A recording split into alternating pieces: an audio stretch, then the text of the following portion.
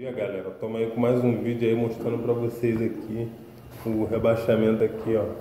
Como vocês já podem ver já botei uma tira de gesso, sumbei com cinzal lá em cima, entendeu? De 8 centímetros.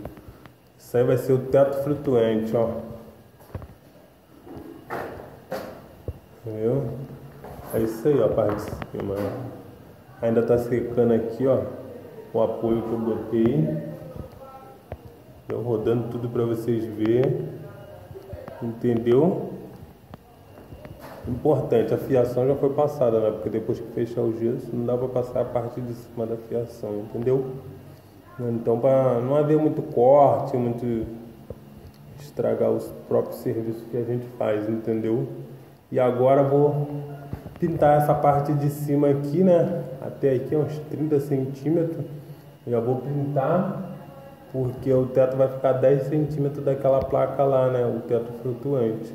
Aí já vou deixar pintadinho a parte de cima já para não ter problema lá de pintar, não ter que retocar nem nada. Depois quando eu cortar a placa do gesso, lá já tá pintadinho, entendeu? E valeu, dá um like aí para nós continuar mandando vídeo para vocês.